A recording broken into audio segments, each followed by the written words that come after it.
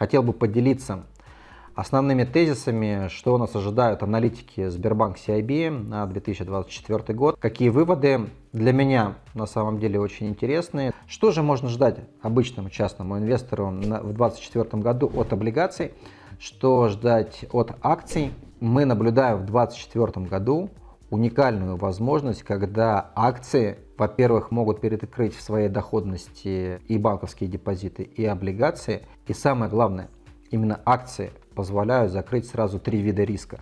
Э, виды риска это валютный риск, процентный риск и риск глобальной мировой рецессии. Смотрите данное видео до конца, мы сегодня про это. В 2024 году валютный риск сам по себе он присутствует. Он присутствует по той простой причине, что если курс доллара будет расти, весь импорт будет дорогим. И количество импортных товаров, которые мы в этом случае купим через год, будет меньше, чем мы можем их купить сейчас. Валютный риск требует управления.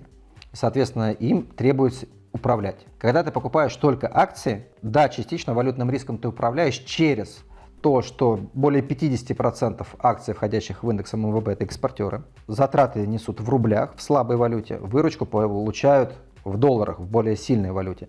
И от этого у них растет чистая прибыль. И из этой чистой прибыли, из выручки платятся НДПИ, акцизы и другие поступления в бюджет, оставшаяся чистая прибыль перераспределяется акционерам. И ты защищен тогда в плане валютного риска, можешь защититься от валютного риска или через покупку экспортеров, и или через покупку замещающих облигаций и или через покупку золота. Вот лично я выбираю, что если я хочу защитить свой валютный риск, защититься от валютного риска, у меня должны быть в портфеле и золото, и замещающие облигации, и акции. Окей, все плохо, вот, вот, совсем плохо. Если все совсем плохо, цена на нефть упала. Ввели санкции, Россия не может продать нефть. Окей, какую-то часть нефти, газа все равно сможет продавать. Входы, выходы найдут, серый флот будет работать.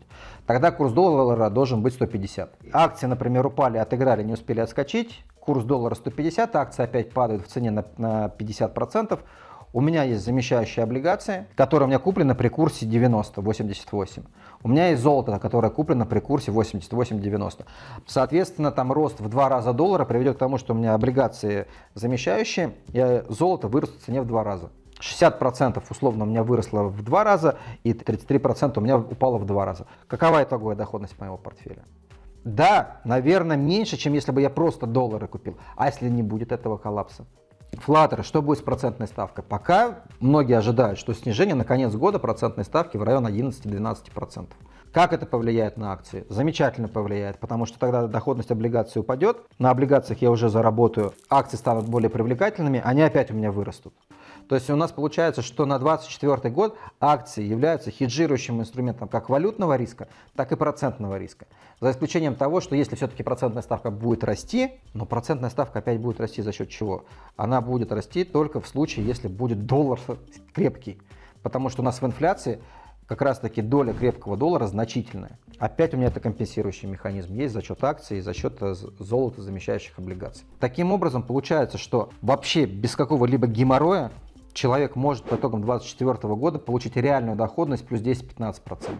Но когда он размещает все свои деньги исключительно на депозиты 15%, он хеджирует себя от одного риска. То есть валютный риск вообще никак не защищен. И поэтому я опять-таки, говоря о том, что прогнозирует тот же самый Сбербанк, Атолан и другие инвестиционные дома, призываю вас, друзья, хотите посмотреть полноценное видение на эту ситуацию, что делать со своим портфелем в 2024 году, у нас есть 6-часовой запись конференции, на котором мы это разбираем. И все эти первоисточники, которые есть, вы можете получить. Ссылка в описании под данным видео. Проходите, забирайте, формируйте собственный инвестиционный портфель с реальной доходностью в районе 15% с поправкой на инфляцию. И вам, в принципе, все равно, что будет с инфляцией. Мы говорим про реальную доходность, опять-таки, порядка 15-20%. Вы сами можете управлять долями, да, у вас разный возраст может быть, у вас разная склонность к риску может быть. Кто хочет консервативный, будет вам больше стабильности. Кто хочет более агрессивный, будет большая доходность да, с защитой от валютных, процентных и глобальных геополитических рисков. Описание ниже, проходите, забирайте. При этом, а, если говорить о том, что нам ждать по доходности а, фондового рынка индекса Мосбиржи, базовый сценарий, мягкая посадка, реальная доходность 17%, если будет рост бюджетных расходов, доходность индекса Мосбиржи 12%, жесткая посадка, доходность 13% и замедление роста мировой, всей мировой экономики, тогда вы получите в индексе ММВБ минус 11%. Опять же, компенсация вот этого глобального риска рецессии, возможно, через инструменты с фиксированным доходом. Эти инструменты разбираем у нас на конференции. Если понравилось видео, поделитесь с друзьями и знакомыми. У меня же сегодня на этом все. На связи был Максим Петров. Пока-пока и удачи.